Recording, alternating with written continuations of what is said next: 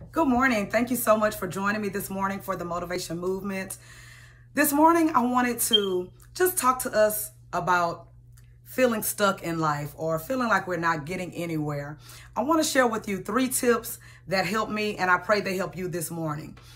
The first tip is to be honest with yourself. Listen, guys, that is so very important is to be honest with ourselves and to check our choices and to check our mindset. I always tease my own self and say, you know, if I want to lose weight, I can't eat cookies and cupcakes every day.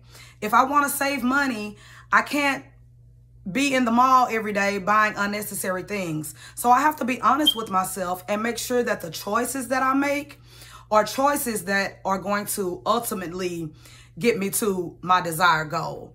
So that's number one. Be honest with yourself. Number two is get up, get out, and do something.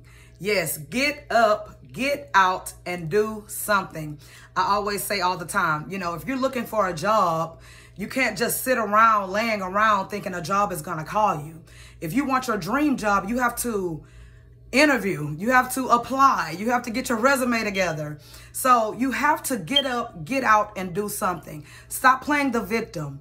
Stop thinking that, you know, the world is going to hand something to you because it's not. You have to get up, get out, and do something. Number three, last but not least, which probably should have been number one, but it is get a plan of action. Actually sit down and write out a plan. Write down where you want to be in the next month. Write down where you want to be in the next three months. Write down where you want to be in the next year. And actually work your plan.